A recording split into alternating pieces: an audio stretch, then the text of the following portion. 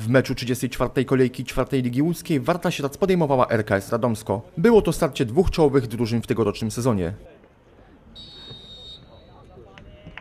Od pierwszego gwizdka czuć było, że spotkały się dwie najlepsze drużyny w tym sezonie. Warta miała kilka okazji na objęcie prowadzenia, ale Daniel Niźnik nie dał się pokonać. Swoich szans szukał także RKS. Jednak na posterunku był Kamil Miazek. W 40 minucie sędzia podyktował rzut karny dla Warty. Po próbie dryblingu faulowany w 16 był Wiktor Płoneta. A jedenastkę skutecznie wykorzystał Łukasz Chojecki. I mamy bramkę. 40 minuta spotkania, a strzelcem Łukasz Chojecki. Do przerwy Śradza nie prowadzili 1 do 0.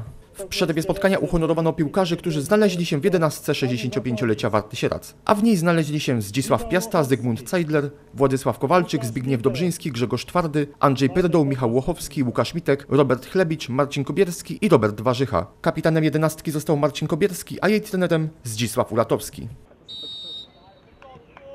Druga połowa była podobna jak pierwsza. Gra wyrównana, okazje z jednej i drugiej strony, jednak bez ich skutecznej finalizacji. W 70 minucie futbolówka po strzale Piotra Mielczarka trafiła w słupek. Końcówka meczu należała do sędziego, który pokazał się radzanom trzy kartki w przeciągu jednej minuty. Dwie żółte dla Krystiana Stolarczyka i Adriana Filipiaka i jedną czerwoną dla trenera Marcina Węglewskiego. W 87 minucie drużyna z Radomska wyrównała. Indywidualny rajd rozpoczął Sebastian Miśkowiec, który pokonał Kamila Miaska.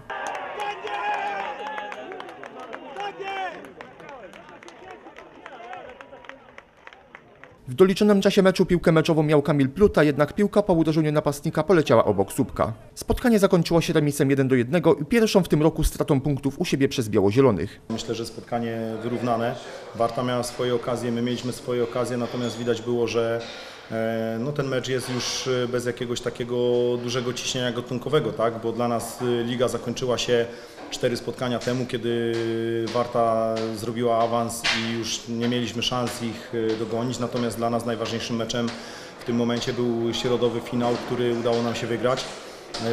I Dzisiaj obawialiśmy się, że nie podołamy trudom tego spotkania, bo rozegraliśmy 120 minut i praktycznie tym samym składem. Natomiast, e, no tak jak mówię, mecz wyrównany, w podobnej ilości sytuacji z obu stron. E, Wydaje mi się, że tego ciśnienia rzeczywiście już takiego mocno ligowego nie było, ale widać było na pewno jakość z jednej i z drugiej strony i ten mecz pokazał, że no, spotkały się dzisiaj na boisku dwie najlepsze drużyny tej ligi. Mecz wyrównany, dużej jakości piłkarskiej. Dwa zespoły, które y, pracowały na to, żeby grać do końca o awans. Y, Faktycznie ten ciężar gatunkowy dzisiaj był troszeczkę inny. Nie było takich emocji, mieliśmy więcej swobody z jednej i z drugiej, y, z drugiej strony. My cieszymy się z tego mm, awansu. Cieszymy się z tego, że mm, przez ten cały sezon graliśmy równo. Radomsku i Pawłowi gratuluję Pucharu Polski, bo to jest duża sprawa.